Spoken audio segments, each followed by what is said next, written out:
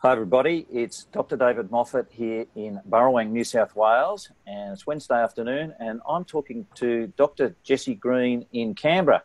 So he's uh, one of my closest neighbours, really, almost. Almost. Uh, not far down the road. And uh, Jesse, good to have you on the on the call. Thanks for being uh, able to talk with us this afternoon. Um, it's uh, it's great to have you. We're talking about the event that uh, we're putting on in Merimbula next month for which we've called the Dental Fire Aid Extravaganza.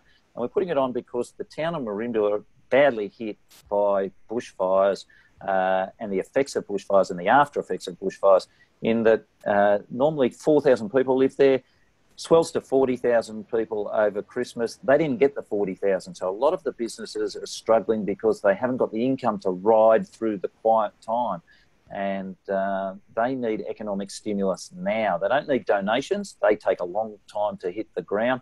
This uh, meeting's going to be good. We're going to attract 200 people for uh, two nights, maybe three or four days, and really um, get the cafes, get the restaurants, get the tourism, get the accommodation, get the bars, stimulate their economy, and hopefully for the people of Merimbula, start this as a sequence of events that – other industries will use Merimbula as a destination. So it's it's I'm quite excited about what it's become. But Jesse, you're going to be speaking there, which is fantastic. Can you tell people uh, watching this video what you're going to be speaking about at the Dental Fire Aid event?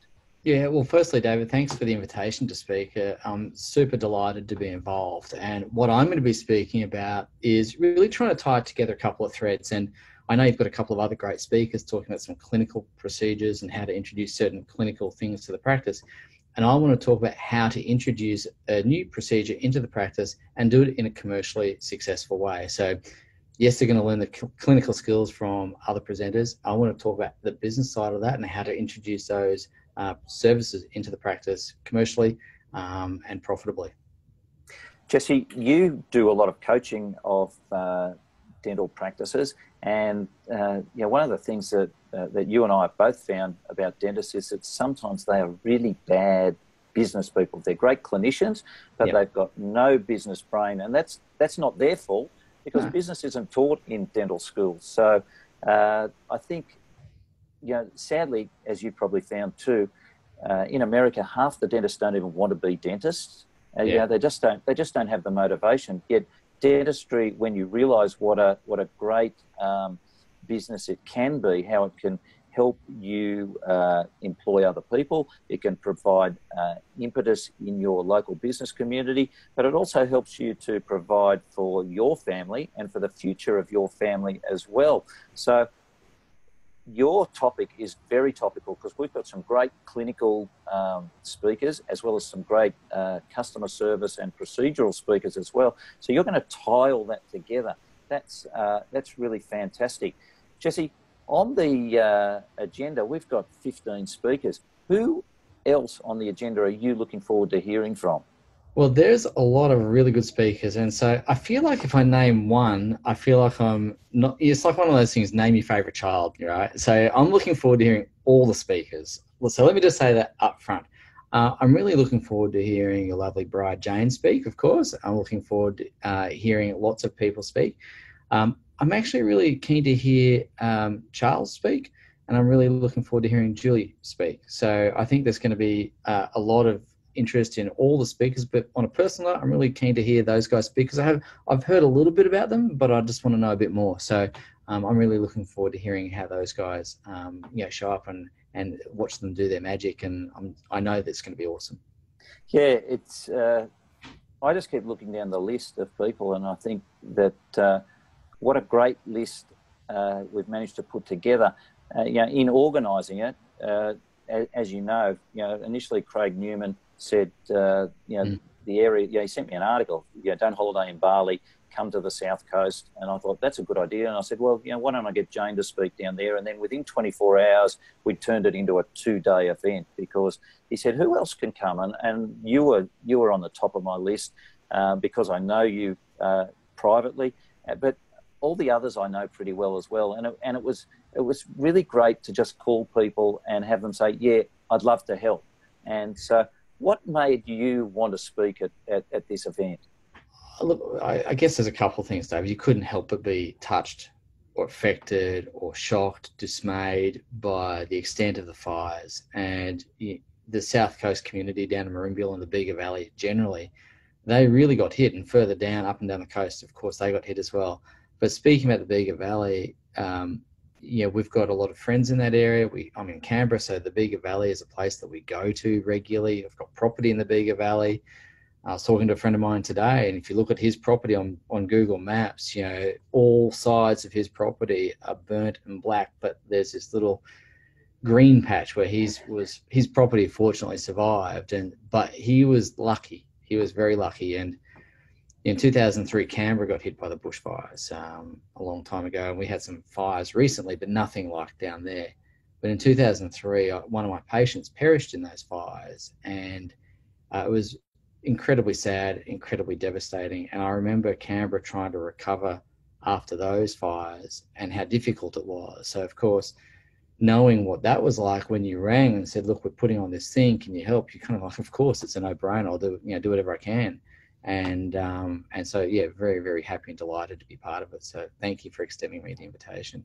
Yeah, it's it's funny uh, having lived in Sydney all my life, but you know for the last seven and a half years having this place down in the Southern Highlands, and then for the last year and a bit living here full time, never really realised what a bushfire threat is like. And w- although I thought the fires were a long way away from us, when they're 25k away and it's blowing a gale in your direction from the fire, it gets quite scary with the smoke and then the darkness and not knowing whether embers are going to appear. One of my my uh, friends down here had lived in Bowral uh, all his lo- you know, all his adult life, and he moved to Exeter a month before the fires went to Exeter, and his four neighbours uh, three of them had fire on their property, and he, he said wow. like he, his his wife had to, she she just lost it. She just wasn't mentally able to cope with it. My my wife was really good and systematic about things, but you you never think. You know, I'm looking at this little window here now, and I've got you know, 60, 70 meter tall gums there. You know, 50 yards from the house, and you think it's not so much them, but what's on the ground as Absolutely. well. Yeah, it's, it's hard work. It's, it's it is, and so yeah, I, I, can remember being in Bateman's Bay when those 2003 uh, fires went uh, were in Canberra, and the sky in Bateman's Bay just went black, and that's a long way away. It's yeah. uh, I, I, don't know what it, what it, what it's like to to be facing that wall of fire, but it was scary enough uh, mm. here. So yeah, and that's I guess you know your reaction. Uh, what can I do to help?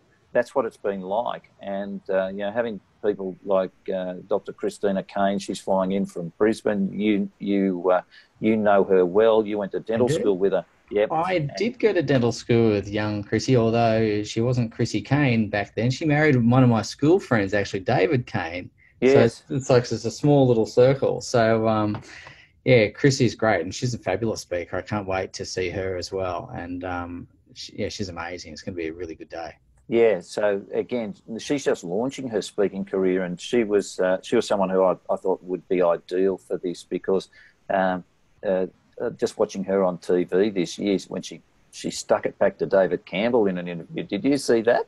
I didn't see that. No, I'll have to go and check it out. I'll have to YouTube he, and see. He, he, said to her, he said, uh, he said, um, how often should you go to the dentist? Um, and she goes, Well, how often do you go to the dentist? Like she hit him back, return serve. It was at the tennis, and she returned serve straight at him. And he goes, he, he, was well, shocked. Well but, done. Uh, go, Chrissy. Yeah, very well done. So yeah, she's she's going to be uh, she's I think she's going to really uh, be one of the surprise uh, speakers. This uh, this is turning out to be a really great event, Jesse. Thank you very much for being on the call this afternoon. Um, thank you for offering to speak. Uh, I think the attendees are really going to enjoy what you've got to say, tying that all together with the, the new equipment, new procedures, because uh, the people who teach new procedures, they're the guys who know that a lot of the stuff never actually even gets back into the surgery. I know. So we want to, if people are going to go through and learn those procedures, we want to get them implemented and have them rocking along well. So again, David, I really appreciate the invitation to come and speak, and I'm looking forward to seeing everyone there uh, so, ladies and gents, if you're in the dental community, please come out and support this event. There's been a tremendous amount of work by David, Craig Newman and others putting it together. And uh, and David, I salute you, mate, for putting it together, and to Craig as well. And um, let's let's make this a winner. Yeah, I, I, Jesse, I, it's going to be nothing short of a winner. So again, thanks very much for your time this afternoon, and uh, uh, really appreciate it. Thanks, Jesse Green. Pleasure, Dave.